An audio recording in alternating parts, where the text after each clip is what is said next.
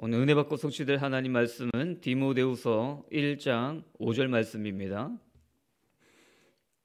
디모데후서 1장 5절 말씀입니다. 제가 봉독하겠습니다. 이는 내 속에 거짓이 없는 믿음이 있음을 생각함이라. 이 믿음은 먼저 내 외조모 로이스와 내 어머니 유니게 속에 있더니 내 속에도 있는 줄을 확신하노라. 아멘. 믿음의 부모, 믿음의 조부모라는 제목으로 오늘 말씀을 나누겠습니다. 저희 한마음 한뜻 공동체라는 강단의 말씀을 주셨습니다. 그래서 하나님께서 친히 세우신 공동체가 가정과 교회 아니겠습니까? 그래서 사탄은 끊임없이 공격을 하고 있어요. 가정을 공격하고요, 교회를 공격하고 있습니다. 그래서 우리가 이 강단의 말씀 굳게 붙잡고 오로지 기도에 힘쓰고 우리의 삶의 날마다 적용해 나아갈 때 우리 가정과 교회와 우리 현장에 하나님의 망대가 견고하게 세워질 줄 믿습니다. 그래서 한 마음 기도 공동체가 되어야 한다 말씀을 하셨죠. 베드로와 요한 종교 지도자들의 그 핍박을 감옥에 갇히고 예수 이름을 말하지 말라 위협을 당했죠. 그리고 이들을 감옥에 가둬둘 명분이 없는 거예요. 그래서 풀려났습니다. 그들이 가서 가장 먼저 한 게 무엇입니까? 기도 공동체 만든 거예요. 자기가 겪은 이 상황과 하나님의 기적과 이런 부분들을 출애교인들과 소통을 하고 뭐 했습니까? 기도에 힘쓰면서 무엇을 기도했죠? 복음을 강하고 담대하게 증거할 수 있는 힘을 주시옵소서. 이 부분을 기도했죠. 저희도 마찬가지입니다. 저에게 적용 좀 주셨습니다. 우리 예원의 성도님들은 393 기도를 우리 삶 가운데 적용하면 될 줄 믿습니다. 그래서 우리 목사님께서 계속 말씀하시는 게 무엇입니까? 기도 메시지예요. 그만큼 기도에 오로지 힘쓸 때 사도행전에 나타난 그 성령 역사가 우리에게 나타나는 거 아니겠습니까? 기도 외에는 이러한 유구 나갈 수 없느니라 항상 말씀하시죠. 그래서 이 강단 말씀 붙잡고요. 오로지 기도에 힘쓰는 저와 또 예언의 성도님들 되시길 바라겠습니다. 그러면요 우리의 우선순위와 우리의 가치관이 바뀐다고 말씀하셨죠. 초대교회가 그랬잖아요. 자기 재물을 자기 것이라 주장하는 사람이 없도록 다 공동체 안에 헌신하면서 하나님께 드린 거 아니겠습니까? 그 증인이 또 저희 예원교인들 아니겠습니까? 가장 어려운 시기에 문화센터가 세워졌고요. 가장 어려운 시기에 우리 성도님들의 끊임없는 헌신으로 본당헌당이 되는 기적 같은 일이 일어난 거 아니겠습니까? 그래서 오늘 이 말씀 붙잡고요. 하나님, 우리 예언의 성도님들 또 우리 중직자분들, 교육자, 렘넌트들을 통해서 237 나라 5천 종족 복음화가 되어지게 하여 주시옵소서. 기도에 힘쓰는 저와 성도님들 되시길 바라겠습니다. 사도행전은 성령 행전이죠. 근데 또 다른 별명을 결론에 말씀하셨죠. 기도 행전이다. 모든 엄청난 성령의 역사 바탕에 뭐가 있었죠? 기도가 있었어요. 저희 가정과 가문 우리 직장 모든 현장에도 마찬가지일 줄 믿습니다. 우리가 오로지 기도에 힘쓸 때 기도로 하나님과 접속을 할 때 하나님이 우리를 가정을 살리시고 우리의 직장 현장과 산업 현장을 살리시고 우리의 교회 현장을 하나님께서 살리실 줄 믿습니다. 오늘 본문은 사도 바울이 디모데에게 하는 이야기입니다. 디모데의 믿음을 봤어요. 근데 이 믿음이 어디서 나왔다고요? 네 외조모 로이스와 어머니 유니게로부터 이 믿음이 너에게 흘러나왔구나. 그만큼 오늘 제목처럼 믿음의 부모님, 믿음의 조 부모님이 중요한 거 아니겠습니까? 저희 지금은 5월 가정의 달을 저희가 맞이하고 있습니다. 그래서 저희가 237 나라 복음화 해야 됩니다. 5천 종족 복음화 해야 됩니다. 그리고 우리가 만나는 사람들에게 전도돼야 되고 영웅군이 힘써야 됩니다. 그러기 위해서 가장 먼저 견고하게 우리가 지켜내야 할 것이 가정 공동체와 교회 공동체인 줄 믿습니다. 첫 번째입니다. 믿음의 조부모입니다. 5절 보겠습니다. 우리 본문이죠. 이는 내 속에 거짓이 없는 믿음이 있음을 생각함이라. 이 믿음은 먼저 내 외조모 로이스와 내 어머니 유니게 속에 있더니 내 속에도 있는 줄을 확신하노라. 그 디모데의 믿음을 칭찬하는데 믿음의 근간이 이 외할머니 할머니로부터 시작됐다고 어, 이야기하고 있습니다. 조부모님들이 상당히 중요합니다. 왜냐하면 격대 교육을 또 랩런트들에게 하지 않습니까? 그래서 세상의 할머니 할아버지들은요 나이가 들수록 연약해져요. 아 내가 나이가 많아서 뭐 이러면서 계속 연약한 소리를 많이 하시지 않습니까? 근데 언약 확실한 하나님의 자녀들 이 조부님들은 달라요. 나이가 들수록 어떻게 됩니까? 가정과 가문을 위해서 손주 랩너트들을 위해서 더 성령 충만해집니다. 그 증거가 갈렙 아니겠습니까? 갈렙이 무슨 고백을 합니까? 우리 찬양도 있잖아요. 이 산지를 내게 주소서. 하나님이 나와 함께 하시면 내가 능히 그들을 이기리이다. 내 나이가 45년 전 40세 청년 때와 기록이 똑같다는 거예요. 근데 이 도전을 언제 했어요? 나이 85세 시니어 시대 때 한 거예요. 이 도전을 안악 자손에게 했습니다. 지금 가나안 땅을 정복해 가는 과정이에요. 하나님이 이미 약속으로는 이미 그 땅 주셨습니다. 과거 완료형입니다. 그걸 우리가 개척해 나가는 거예요. 그런데 영적인 분위기가 흔들리는 거예요. 아, 그 헤브론 산지 그 안악 자손 굉장히 기골이 장대하다는데 우리가 뭐 어떻게 이기겠나? 나중에 어찌어찌 되겠지? 이런 영적인 분위기. 이런 분위기를 뚫고 지나간 게 누굽니까? 갈렙이에요. 아, 이대로 노선 안 되겠다. 우리 가정과 가문, 우리 교회에 대한 이런 영적인 뭔가 흐름 정체가 있다? 그걸 뚫고 나간 게 갈렙 아니겠습니까? 왜 이 헤브론 산지를 간구했습니까? 갈렙이? 이 헤브론 산지는요. 안악 자손이 사는 이곳은요. 하나님이 이미 주셨는데 영적인 축복이 있는 땅이에요. 성경을 보니까 이 땅이 어떤 땅입니까? 600년 전에 믿음의 조상 아브라함이 하나님을 뜨겁게 예배한 장소가 이 땅이에요. 근데 세월이 흘러서 안악 자손이 차지하고 있는 겁니다. 그리고 하나님과 천사들이 현현해서 사람의 모양으로 나타나서 아브라함을 만나 주신 곳이 이 장소예요. 그리고 이곳이 어떤 곳입니까? 아브라함이 직접 돈을 주고 산 막벨라 굴. 거기에 누가 묻혔죠? 아브라함이 묻히고요. 사라, 이삭, 리브가, 야곱, 레아 믿음의 선조들이 묻혀 있는 땅이 이 헤브론 산지예요. 엄청난 언약과 영적인 축복이 있는데 이 산지는 반드시 우리가 차지해야 된다. 영적으로 도전한 거 아니겠습니까? 저희도 마찬가지 아니겠습니까? 우리 교회적으로 스타트만 운동, 사천망대 운동, 237 시위 운동 진행하고 있습니다.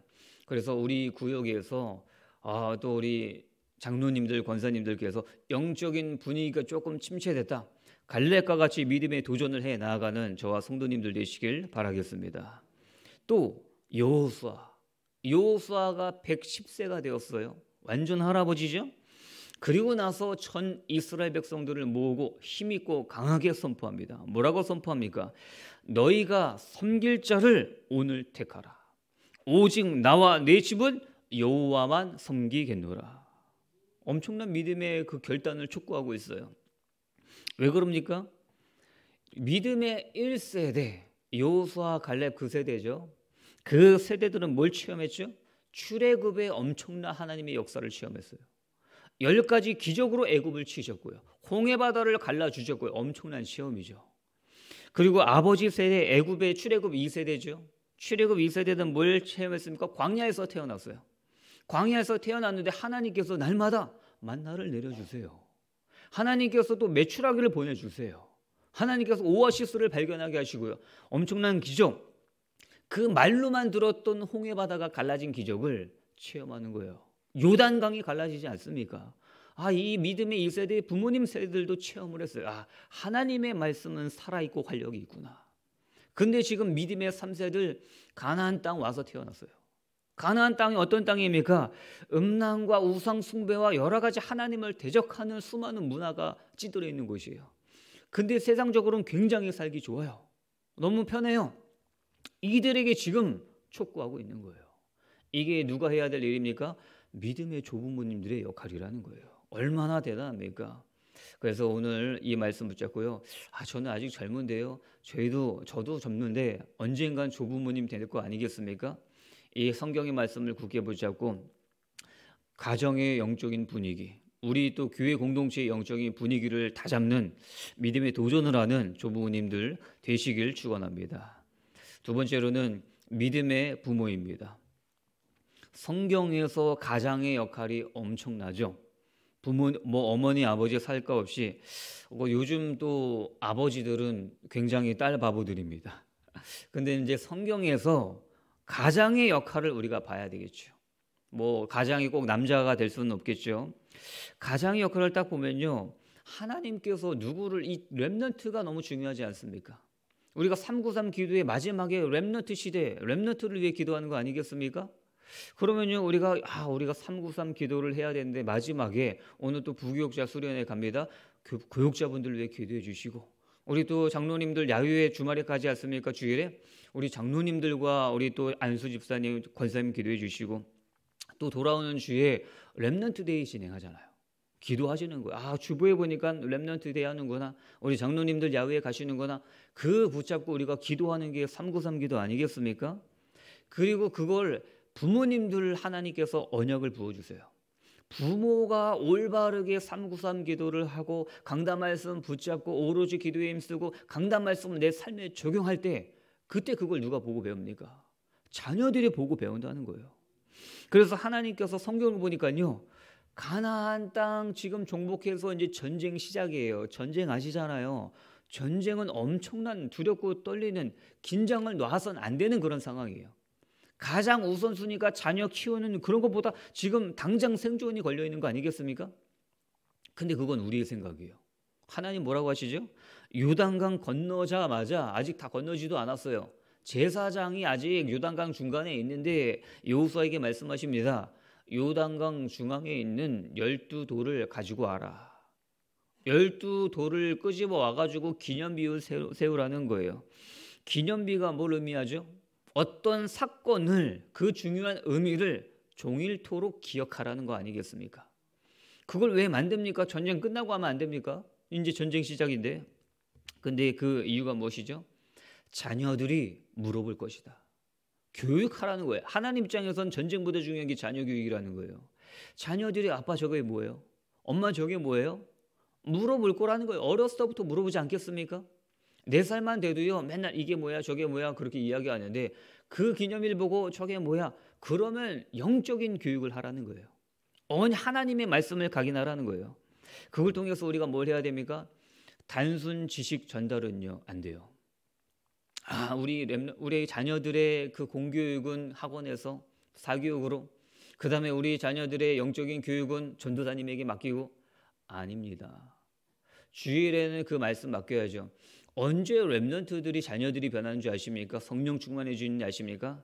가정과 학교와 교회가 같은 말을 하면 그 랩런트는 완전 달라져요.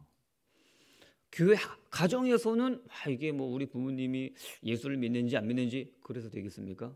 학교에서는 맨날 세상적인 얘기하고 일주일 한 번 딱 가서 하나님 얘기하고 말씀 듣고 와요. 안 돼요. 학교에서 그게 좀 어렵다면 가정에서라도 우리가 가정 예배를 드리고 기도의 뒷모습을 보여드리고 이게 괴장 하나님이 가장 기뻐하시는 언약 전달과 교육인 줄 믿습니다. 한마디로 지식 전달하면요 대학생 돼서 교회 떠나요. 안 믿어진다는 거예요. 지식만 전달했으니까요. 지식 전달하면요 이렇게 느껴져요. 아 영화를요 아무리 재밌는 영화도 열 번 똑같은 거 보면은 얼마나 지루합니까? 하나님의 말씀을 그렇게 느낄 수 있는 거예요. 맨날 똑같이 예수 그리스도 왕 제사장 선지자 아 그 아는 다 얘기 다 똑같은 얘기하는데 오늘도 교회 가야 됩니까? 지식 전달하면 그렇게 되는 거예요. 그런데 하나님의 말씀은 무엇입니까? 지식이 아니에요. 날마다 살아 역사하시는 생명인 줄 믿습니다. 생명이기 때문에 우리가 오늘도 밥을 먹고 내일도 밥을 먹고 식사하지 않습니까? 그거 식사를 해야 엄마가 지어준 따뜻한 밥을 뭐 정성스럽게 먹어야 아이가 건강하게 잘 자르듯이 영적으로도 마찬가지예요. 하나님 우리 자녀가 단순 지식 전달이 아닌 생명이 그 안에 들어가게 하여 주시옵소서. 그러기 위해선 부모가 먼저 지식이 아닌 생명으로 붙잡아야 돼요. 강단의 말씀을. 그럴 때 우리 자녀들에게 올바로 전달되고 가정과 가문과 교회가 견고해야 그래야 237이 보이죠. 그래야 5천 종족 보이는 거 아니겠습니까? 지금 내가 힘들고 가정이 흔들리는데 237이 보이겠습니까?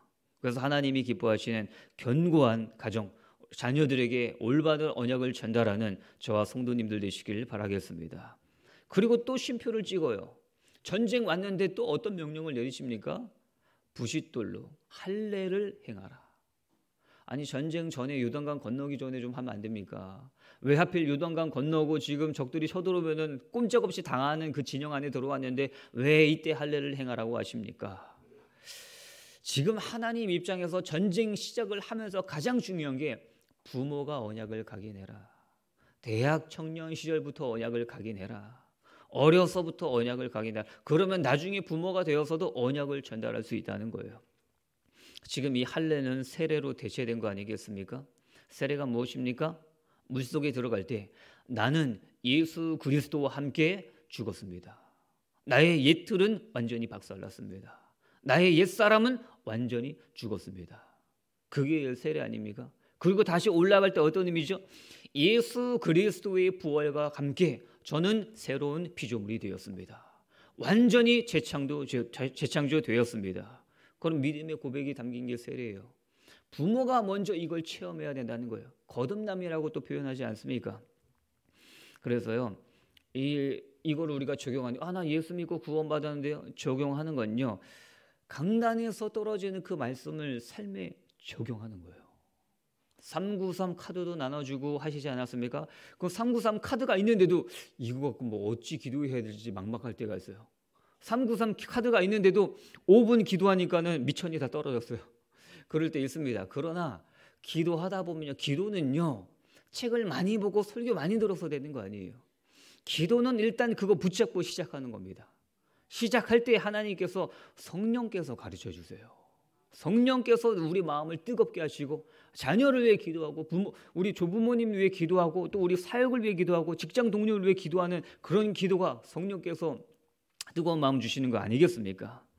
그래서요, 우리 부모님들이 기도의 손을 가르쳐야 돼요. 기도 외에는 이런 종류가 나갈 수가 없습니다. 자녀도 현장도 마찬가지입니다. 어, 제가 이제 여호수아를 보니까요. 여호수아가 전무후무한 응답을 체험했어요. 아무도 체험하지 못한 응답 무엇입니까?